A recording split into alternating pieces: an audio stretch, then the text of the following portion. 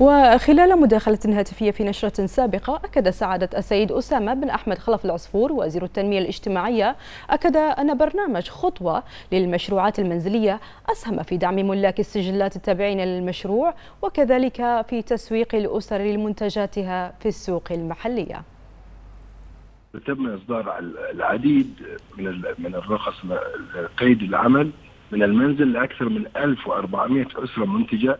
من بداية هذا المشروع منهم من تحولوا إلى ملاك سجلات تجارية ورواد أعمال نعم. أيضا يساعد الأسرة في التسويق لمنتجاتها بسبل مختلفة بالإضافة لتوفير التدريب التخصص الاحترافي على المستويين الإداري والإنتاجي